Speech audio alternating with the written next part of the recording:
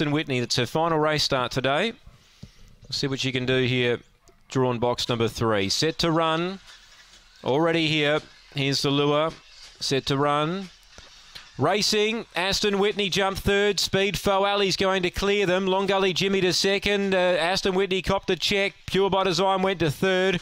Then Miss Amity, Aston Whitney, Maz's Princess, Soul Rocker. A distant last Motown Kenny, but Fo Ali is exploded away. She led by five. Long Gully Jimmy st- uh, steaming home, but Fo Ali too good for Long Gully Jimmy. Pure by Design got third. Maz's Princess got fourth from Miss Amity fifth. Soul Rocker sixth. Aston Whitney, she bows out with a seventh. And last of all, there was Motown Kenny, 23 23 the time.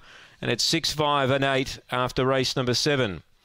Two fourth, Maz's Princess. Fo Alley, number six.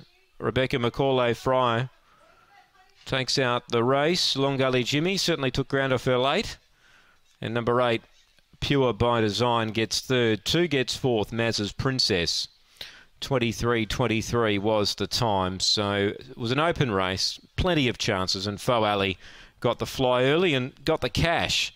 6-5-8-2. Run home in 14-42. 23-23 was the run. That's after race seven. Race eight's up next.